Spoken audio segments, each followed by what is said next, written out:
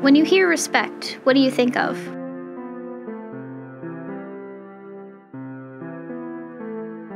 The definition of respect is the regard or esteem, honor the rights, freedoms, views, and property of others.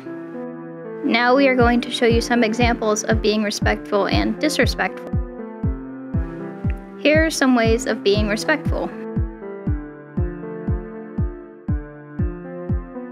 Showing respect by active listening to the elders and paying attention to the person talking.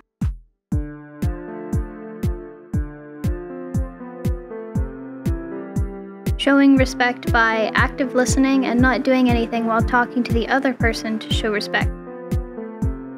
Showing respect by giving cookies and being respectful by accepting the cookies and not being rude about it. Showing respect by helping a friend or just someone in need. Here are some ways of being disrespectful.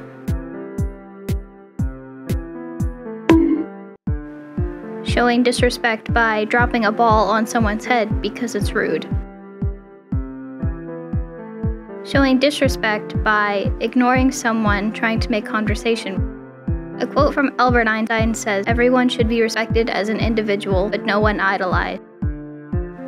Let's play a game to review. The game is true and false.